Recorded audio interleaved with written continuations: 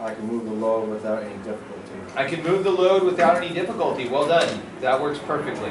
Can move being our verb phrase. The main verb is move, and our helping verb is can. I'm sure all of your sentences are great. Why don't you make sure your names are on the top, and pass those up. Let's take a 10 minute break. We'll come back at noon. It's a couple minutes more than 10. And then I'm going to give you a choice. About what we can do. Okay? So pass them forward. Let me have all of them, please.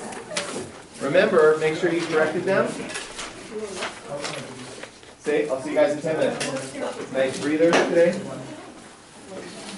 Here we go. Well done, you guys.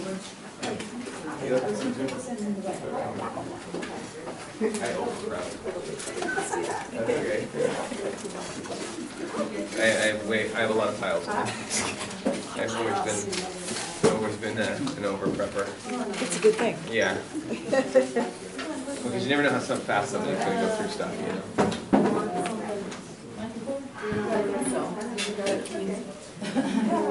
You look quite dapper today, so thanks. I, I dig your outfit, man, it's sweet.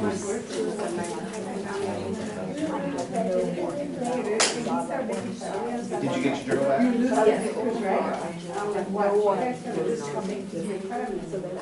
What'd you get on your journal? Full credit? Did you look? So see, if if it's missing something, then I can give you credit for it. I think, Thanks. That's all we had. I can go get those journals. I'm so sorry about your paper, I had it done. Oh, Funny, because you put a, an individual I, I would have, I knew it was good. So there was, I learned that thing there. Right. I like, Okay, And so, so every time I had to go back, looking at the roads, walking like this, and that, I'm like, whatever. Oh, it's oh, So